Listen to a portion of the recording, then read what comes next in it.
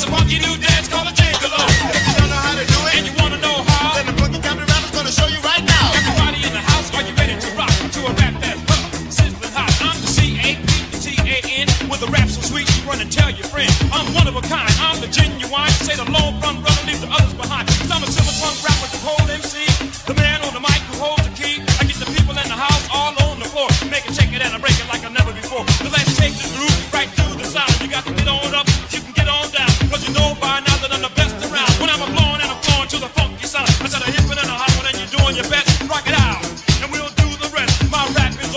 stomp your feet and then you clap